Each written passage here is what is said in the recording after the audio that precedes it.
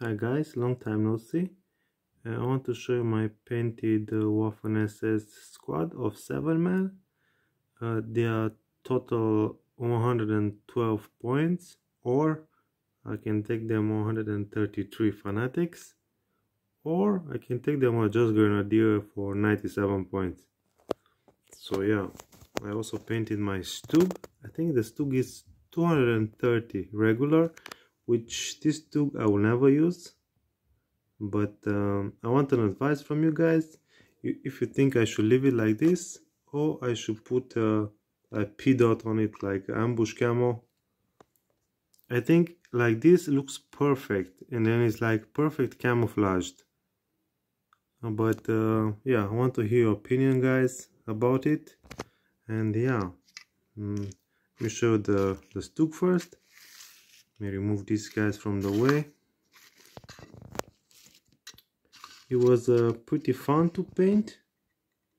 Went under also with camo uh, I wanted to leave just a small line of uh, the yellow. Uh, it's all done by brush. No uh, airbrush no nothing. The commander just uh, did in black and also dry brush him a bit with gray. And yeah I, I thought yeah maybe it's gonna be enough camo the tank so the the crewman should not attract all the attention with the pea dot or something. So yeah I hope you like my Stug. And yeah let me show you the the squad now. This is my uh, NCO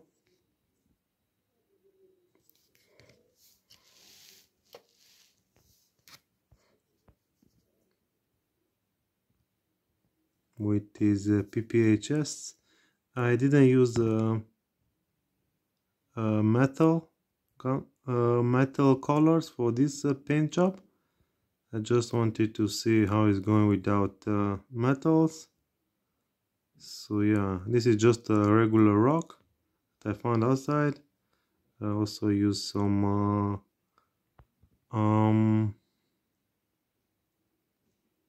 colors on it also some sand from outside. Everything is natural. And uh, the grenade guy a rifleman with his uh, Russian hat. This guy is always cold. He survived the Stalingrad. His nose is huge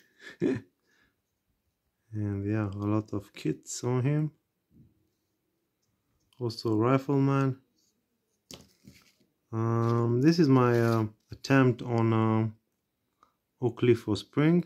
It's not very um, successful but uh, I'm just um, using these guys as a test for my future models for my Waffen SS uh, army.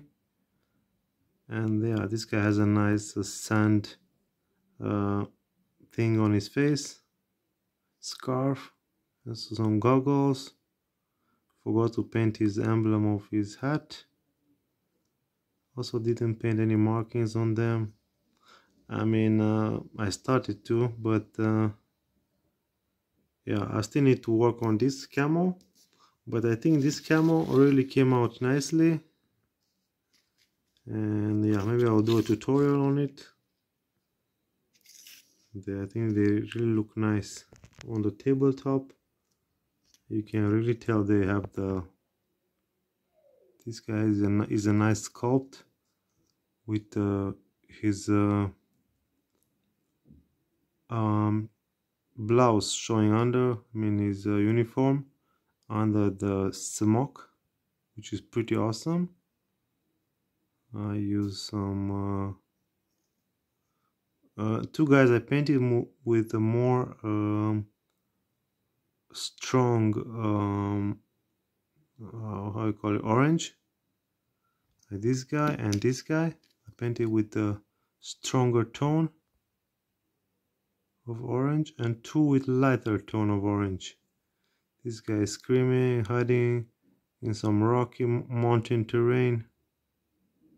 Shooting his uh, STG-44 also the hat was trying to do that camo. On this camo I still need to work to figure it out. It looks like some Vietnam era right now. But yeah from a distance it looks nice. And uh, this other guy also this one is the senior um,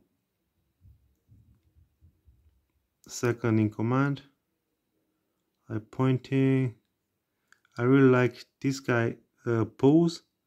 I just put one leg like in front like bending a bit in front. It's like very nice the position uh, I managed to put him on.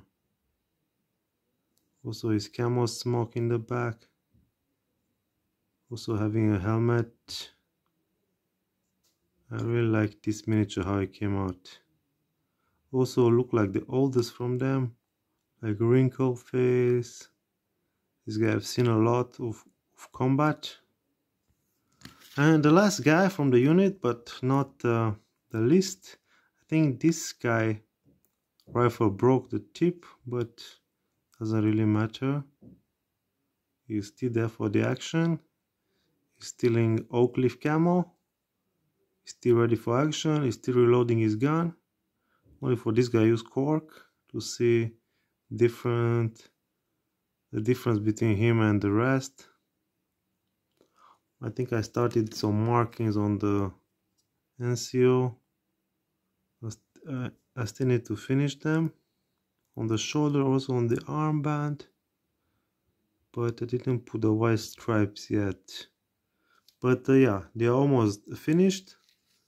And yeah we'll take some picture on them put them on Instagram uh, hope you guys like them. And then yeah thanks for watching guys. And then uh, yeah, I hope you like my new start of my Waffen SS and see you later guys. Bye bye